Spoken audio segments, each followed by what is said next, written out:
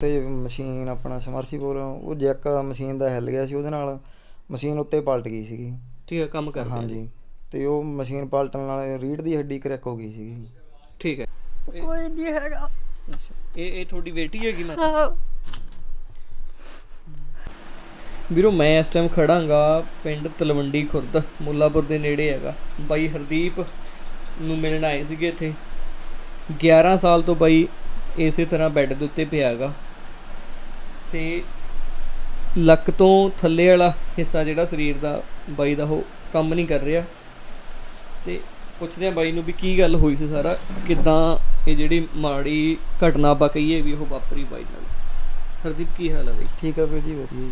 ਸਾਰਿਆਂ ਨੂੰ ਸਤਿ ਸ੍ਰੀ ਸਤਿ ਅਕਾਲ ਸ਼੍ਰੀ ਅਕਾਲ ਬਾਈ। ਕਿੰਨਾ ਟਾਈਮ ਹੋ 11 ਸਾਲ ਹੋ ਚੁੱਕੇ ਨੇ ਇਹਨੂੰ? ਹਾਂਜੀ ਵੀਰ ਜੀ 11 ਸਾਲ ਹੋ ਗਏ ਕੀ ਹੋਇਆ ਸੀਗਾ ਬਾਈ ਵੀਰ ਜੀ ਮੈਂ ਆਪਣੇ ਗੁੜਿਆਂ ਪਿੰਡ ਬੋਰ ਕਰਦੇ ਸੀਗੇ। ਅੱਛਾ। ਹਾਂਜੀ ਉੱਥੇ ਮਸ਼ੀਨ ਆਪਣਾ ਸਮਰਸੀਬਲ ਉਹ ਜੈਕ ਮਸ਼ੀਨ ਦਾ ਹਿੱਲ ਗਿਆ ਸੀ ਉਹਦੇ ਨਾਲ ਮਸ਼ੀਨ ਉੱਤੇ ਪਲਟ ਗਈ ਸੀਗੀ।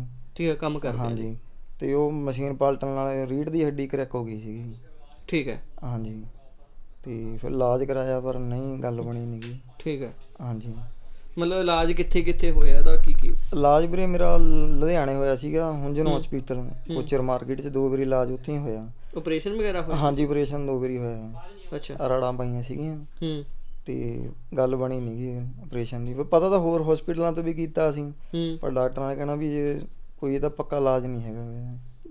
ਹੋ ਨਹੀਂ ਸਕਦਾ ਹੁਣ ਜਿਵੇਂ ਮੰਨ ਲਓ ਤੁਸੀਂ ਪਏ ਹੋਗੇ ਤੁਹਾਨੂੰ ਪਤਾ ਲੱਗਦਾਗਾ ਥੱਲੇ ਸਰੀਰ ਦਾ? ਨਾ ਇਹ ਲੱਕ ਤੱਕ ਪਤਾ ਲੱਗਦਾ ਬਸ ਮੇਰੇ ਇੱਥੇ ਤੱਕ। ਅੱਛਾ। ਹਾਂਜੀ ਇਦੋਂ ਥੱਲੇ ਨਹੀਂ ਪਤਾ।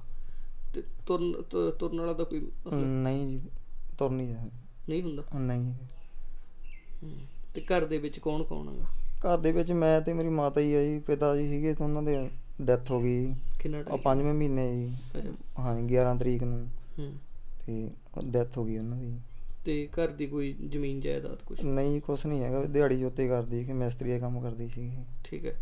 ਹਾਂਜੀ। ਹੂੰ। ਮਤਲਬ ਰਮਦਾਸੀਆ ਪਰਿਵਾਰ ਨਾਲ? ਹਾਂਜੀ ਹਾਂਜੀ। ਹੂੰ।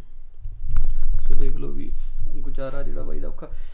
ਇਸ ਵੀਡੀਓ ਬਣਾਉਣ ਦਾ ਮਤਲਬ ਜੇ ਆਪਾਂ ਮਕਸਦ ਤੁਹਾਨੂੰ ਦੱਸੀਏ ਵੀ, ਇੱਕ ਤਾਂ ਇਹ ਵੀ ਜੇ ਕੋਈ ਤੁਹਾਡੇ ਕਿਸੇ ਦੇ ਵੀ ਧਿਆਨ ਦੇ ਵਿੱਚ ਹੋਵੇ ਵੀ ਕੋਈ ਤੁਹਾਡੀ ਨਿਗਾਹ ਦੇ ਵਿੱਚ ਹੋਵੇ ਵੀ ਬਾਈ ਦਾ ਇਲਾਜ ਹੋ ਸਕੇ ਜਾਂ ਕੋਈ ਬਾਈ ਦਾ ਇਲਾਜ ਕਰਵਾ ਸਕੇ, ਕਿਉਂਕਿ 11 ਸਾਲ ਤੋਂ ਲਗਾਤਾਰ ਬੈੱਡ ਦੇ ਉੱਤੇ ਪਏ ਰਹਿਣਾ ਤੇ ਘਰ ਦੇ ਹਾਲਾਤ ਵੀ ਜਿਵੇਂ ਤੁਹਾਨੂੰ ਦੱਸਾਂ ਵੀ ਕਮਾਉਣ ਵਾਲਾ ਕੋਈ ਵੀ ਨਹੀਂ ਹੈਗਾ, ਠੀਕ ਹੈ।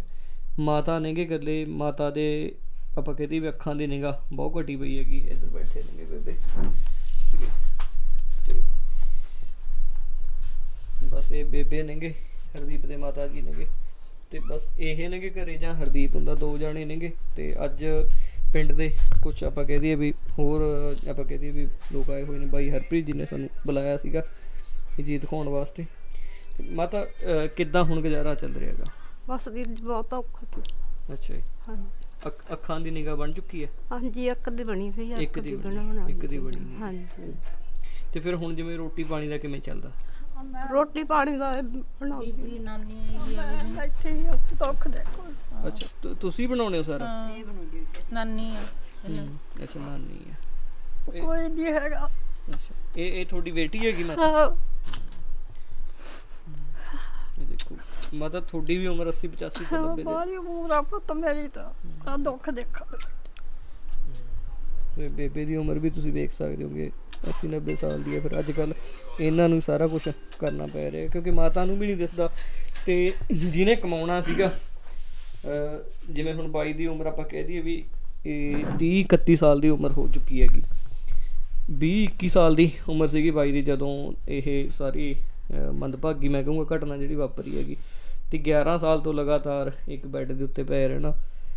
ਤੇ ਜਦੋਂ ਬੰਦਾ ਇਦਾਂ ਦੀ ਕੰਡੀਸ਼ਨ ਦੇ ਵਿੱਚ ਪਿਆ ਹੁੰਦਾ ਭਾਈ ਫਿਰ ਮਨ ਦੇ ਵਿੱਚ ਗੱਲਾਂ ਚੱਲੀ ਜਾਂਦੀਆਂ ਹੋਣਗੀਆਂ ਹਰ ਵੇਲੇ ਹਨਾ ਵੀ? ਹਾਂਜੀ। ਕੀ ਸੋਚਦੇ ਰਹਿੰਦੇ ਹੋ ਫਿਰ ਸਾਰਾ ਦਿਨ? ਬਸ ਵੀਰੇ ਕੁਛ ਨਹੀਂ ਟਾਈਮ ਪਾਸ ਹੋਣਾ।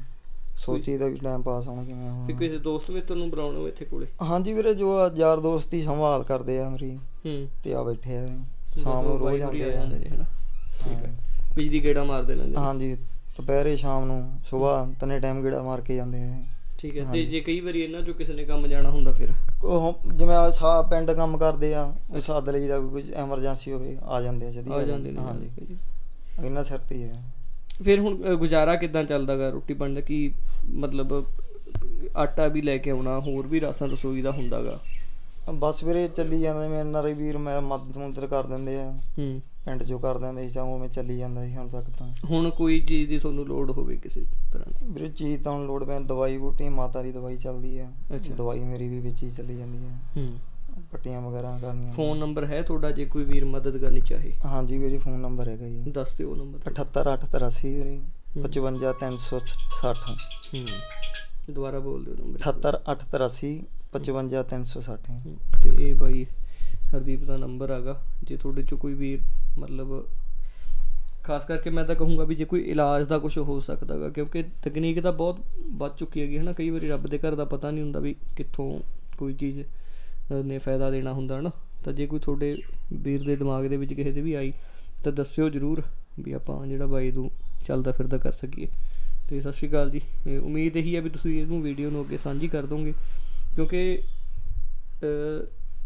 ਜਦੋਂ ਕੋਈ ਜਾਂਦੀ ਹੱਦ ਹੁੰਦੀ ਹੈ ਕਿ ਮੈਂ ਇਦਾਂ ਦੀ ਵੀਡੀਓ ਉਦੋਂ ਹੀ ਪਾਉਣਾ ਹੁੰਦਾਗਾ ਵੀ ਜਦੋਂ ਤੁਹਾਡੀ ਸਾਰਿਆਂ ਦੇ ਸਹਿਯੋਗ ਦੀ ਲੋੜ ਹੁੰਦੀ ਹੈਗੀ। ਤੇ ਬਾਕੀ ਰਵੀ ਕਿਉਂ ਬਈ ਰਵੀ? ਬਹੁਤ ਯਾਰ ਬਹੁਤ ਮੰਨ ਲਓ ਵੀ ਜ਼ਰੂਰ ਹੋਣਾ ਚਾਹੀਦਾ। ਜ਼ਰੂਰ ਹੋਣਾ ਚਾਹੀਦਾ ਚੀਜ਼। ਬਾਈ ਹਰਪ੍ਰੀਤ ਨੇਗੇ ਇਸੇ ਪਿੰਡ ਦੇ ਨੇਗੇ। ਸਤਿ ਸ਼੍ਰੀ ਅਕਾਲ ਜੀ। ਬਾਈ ਤੁਸੀਂ ਸਾਰਾ ਕੁਝ ਇਹਨਾਂ ਦਾ ਮਤਲਬ ਸ਼ੁਰੂ ਤੋਂ ਦੇਖਿਆਗਾ ਹਾਂਜੀ। ਤੇ ਤੁਸੀਂ ਕੁਝ ਕਹਿਣਾ ਚਾਹੋ ਮਤਲਬ ਬਸ ਦੁਨੀਆ ਨੂੰ ਕਹਿਣਾ ਇਹੀ ਆ ਜੀ ਜਿਵੇਂ ਤੁਸੀਂ ਦੱਸਿਆ ਵੀ ਕੋਈ ਡਾਕਟਰ ਵਧੀਆ ਮਿਲ ਜਾਵੇ ਤਾਂ ਇਹਨਾਂ ਦਾ ਹੱਲ ਹੋ ਜਾਵੇ। ਅਸੀਂ ਪਿੰਡ ਚੋਂ ਵੀ ਕੋਸ਼ਿਸ਼ ਕਰਾਂਗੇ ਐਨਆਰਆਈ ਹੁਣ ਵੀ ਬਹੁਤ ਯੋਗਦਾਨ ਦਿੰਦੇ ਆ। ਤੇ ਜਿਵੇਂ ਤੁਹਾਡਾ ਕਾਫੀ ਆਲ ਇੰਡੀਆ 'ਚ ਫੇਮਸ ਹੋ ਤੁਸੀਂ। ਉਹਦੇ ਕਰਕੇ ਜੇ ਕੋਈ ਡਾਕਟਰ ਸੁਣ ਰਿਹਾ ਹੋਵੇ ਜਾਂ ਕੋਈ ਵੈਸੇ ਸੁਣ ਰਿਹਾ ਹੋਵੇ ਤਾਂ ਇਲਾਜ ਹੋਊਗਾ ਜੀ ਅਸੀਂ ਜ਼ਰੂਰ ਲੈ ਕੇ। ਜਾਵਾਂਗੇ ਤੇ ਬਾਕੀ ਜੇ ਕੋਈ ਥੋੜਾ ਬਹੁਤਾ ਬਾਈਆਂ ਦੀ ਪੈਸੇ ਦੇ ਉਹਦੇ ਨਾਲ ਵੀ ਮਦਦ ਕਰਨੀ ਚਾਹੁੰਦਾਗਾ ਤਾਂ ਉਹ ਵੀ ਅਸੀਂ ਕਹਾਂਗੇ ਵੀ ਜ਼ਰੂਰ ਕੀਤੀ ਜਾਵੇ ਕਿਉਂਕਿ ਘਰ ਦਾ ਜਿਹੜਾ ਗੁਜ਼ਾਰਾ ਹੈਗਾ ਉਹ ਵੀ ਇਸ ਟਾਈਮ ਔਖਾ ਚੱਲਦਾ। ਸੋ ਸਤਿ ਸ਼੍ਰੀ ਅਕਾਲ ਜੀ ਸਰ